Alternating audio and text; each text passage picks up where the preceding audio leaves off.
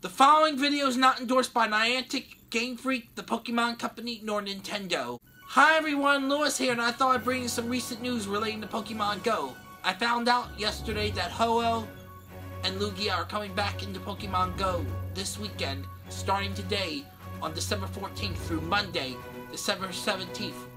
Which means if you didn't get either of these when they were first released, or when they brought them back earlier this year, here's your chance to catch him, and you might even get a shiny Ho-Oh or Lugia if you are lucky.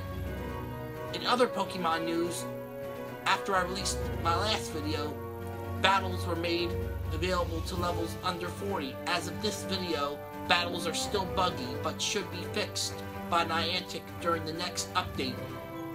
One more thing, videos after this and some footage for episode 24 will be shot with the new iPhone 10R that I should have by this weekend.